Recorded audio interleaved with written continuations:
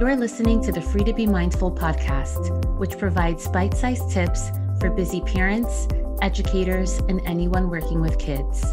These real talk conversations focus on mindful living, mental health, and personal growth, helping all to learn, grow, and inspire with mindfulness in mind. I'm your host, Vanessa de Jesus Guzman, educator, licensed professional counselor, entrepreneur, and mom.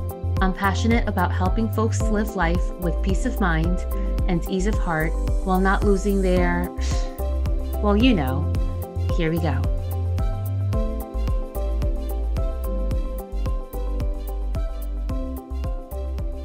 Have you ever tried to practice meditation but have no idea if it's working or even if you're doing it right? Wouldn't it be awesome if there was something to let you know when you're in the zone to let you know to do more of that? Well, there is something that does exactly that. It's called Muse. Muse is a brain sensing headband that helps you find more calm, sharper focus, and better sleep.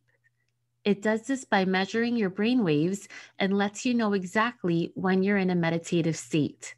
It's an awesome tool for kids and for adults alike. You can get 15% off any Muse product by clicking the link in the show notes below. Check them out at choosemuse.com.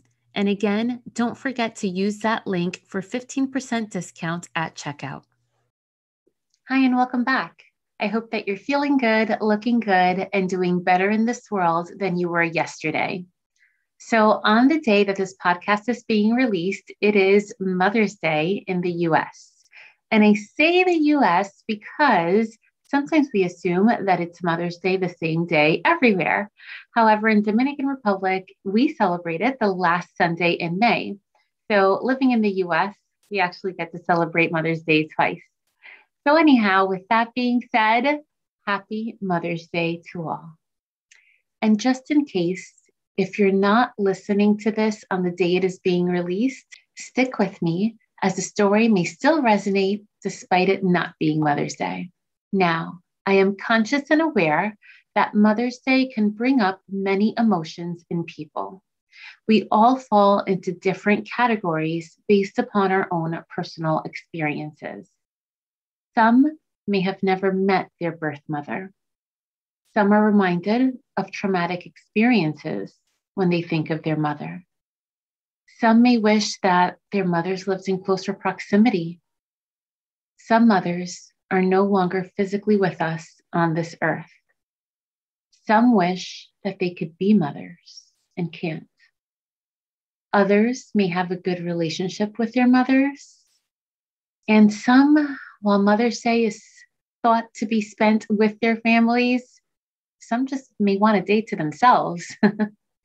so I wanted to take a moment to honor the various situations that listeners may have as Mother's Day may not land the same for all. Now, shifting gears a little bit and moving on to viewing oneself as a mother. For those listeners who identify as a caregiver of some other form, Stay with me too, because these may apply to you as well. Or perhaps it may offer you a new point of view. Personally speaking, motherhood has changed my life, which is obvious, as now there is another human who depends on me. However, I did not realize how much my life would change. When my son was born, things were no longer about me. And every single choice that I made was made with this tiny human kept in mind. What I want to remind mothers of today, whether you're listening again to this on Mother's Day or any other day, is that yes, we love our children most times. no, even when we may not like our kids, we still love them. And we do so much for our kids. However, it is important to not lose oneself as a mother and to remember who you are as a woman and as a human. When our kids are young, we pour our all into them. And rightly so. They need a lot more of us when they are young. They need us to do more things for them. But what seems to happen is that while we do so much for our kids, we seem to lose ourselves. And I wanted to provide some simple reminders today to all the mothers and caregivers who are listening. The first is listen to your heart as you scroll on pictures through social media and as you look at other people's highlight reels, it is easy to get caught up in that perfect life or in the right way to raise your kids. And I'd like to offer to not compare yourself to others because the truth is, kids don't come with a manual. And what works for you may not work for somebody else. It is totally okay to eat Cheerios for dinner or to extend your child's bedtime to a time that works for you. Kids will let you know what they need. All you have to do is listen. And listening to your heart is super important so that you can know what works for you and what works for your family. Of course, while you're listening, listening unconditionally is important to do for your kids too. So get on the floor, play with them, pretend to be whatever they'd like for you to be. Play at least 10 to 20 minutes a day if you have it. Listen to their stories, even when you're not that interested. Listen to their dating woes. Listen to everything they have to share because they do tell you so much. And sometimes not with your words. So listen to your heart and also listen with your heart. The next tip is to invest in yourself.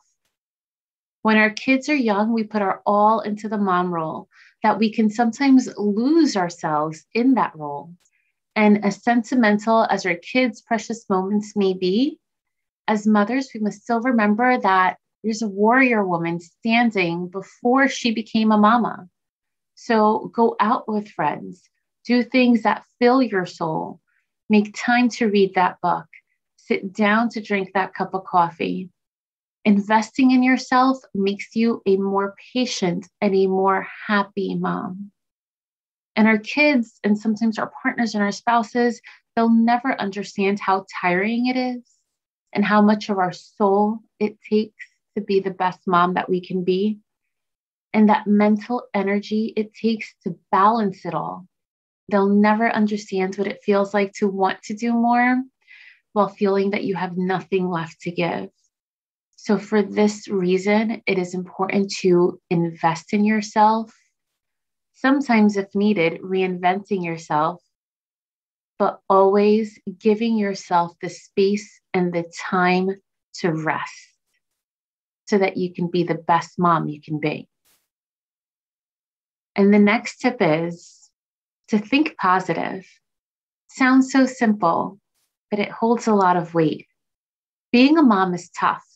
The nights are long, the days are short, and while the tantrums seem to be never ending, watching them sleep is a blessing. The way we think, the way we speak has a big impact on the way our kids think and speak. When we think positive, it really makes an impact on their own mindset as well. So, when frustrated, instead of immediately yelling, take a breath and remind yourself that your reactions make an impact on them too. So, instead of yelling and losing your cool, just say, reminds me where those Legos are supposed to go. Show me how to do that again the right way. Let's try this one more time. These are just different examples of things you can say.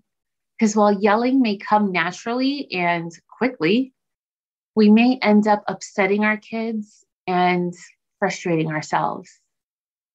Let's speak positive and let's think positive and believe in the power of yes so that our children can know that they can be anything that they want to be.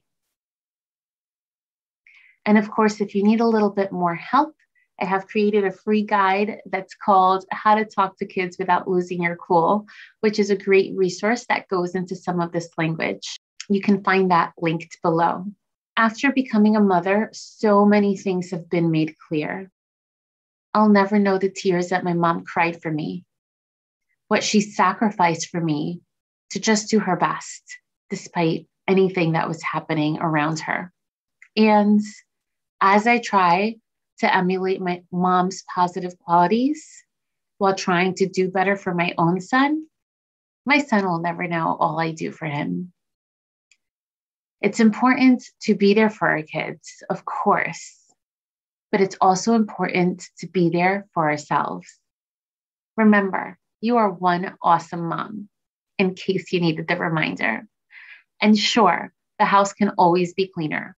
There's always one more book which can be read, and you may not make it to every game or every concert. But the truth is, you're doing great work. When your kids grow up, they will not remember how much you worked or how much money you made but they will remember the special times and all the laughs. And the better you feel inside and outside, the more you're able to be there for them to have those laughs, to have those special moments, and to create the memories that they will remember as they get older. So, with all that being said, I'd like to wish each and every one of you a happy Mother's Day, especially to my own family, to my cousins, my aunts, my sorority sisters, colleagues, girlfriends, and of course, to my own mom, who's one amazing person. I thank you all for the long talks, for shoulders to lean on, sometimes to cry on, as it is with the help, the shoulders of each other the advice that we offer and the humor and space that we hold for each other, that we take the reins of motherhood successfully. So, right now, regardless of where you are or what you're doing, bring awareness to the space that you're in. Not only physically, but perhaps emotionally bring awareness to where that message landed and where your thoughts and feelings lay. And with those thoughts and feelings, I'd like for you to think of kind thoughts and wishes that you'd like to offer to any mom friends. Mom friends who are doing an awesome job. Mom friends who may need a hug who may need some time, who may need some space to remember who they are. Think of these kinds of thoughts and wishes. Think of the people that you'd like to send them to. And with one inhale and exhale, send these kind thoughts and wishes to these special people in your life.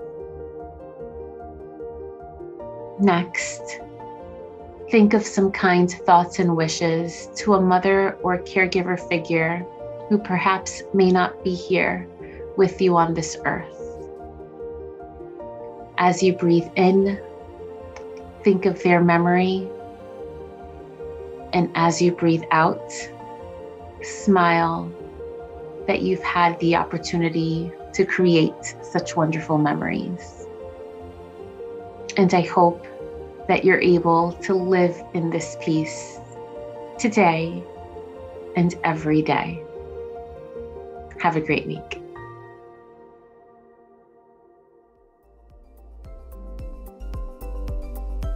I hope you enjoyed this week's show. It would mean a ton if you took this moment to review the Free to Be Mindful podcast on the platform you catch your favorite shows. That quick and easy act lets me know what you enjoy and it helps others find the podcast too. And of course, don't forget to subscribe so you can listen along next week. In the meantime, I welcome you to catch me on social media at Counselor V de Jesus. And as always, remember in a world where you are free to be anything that you want to be, you are always free to be mindful. Catch you next week.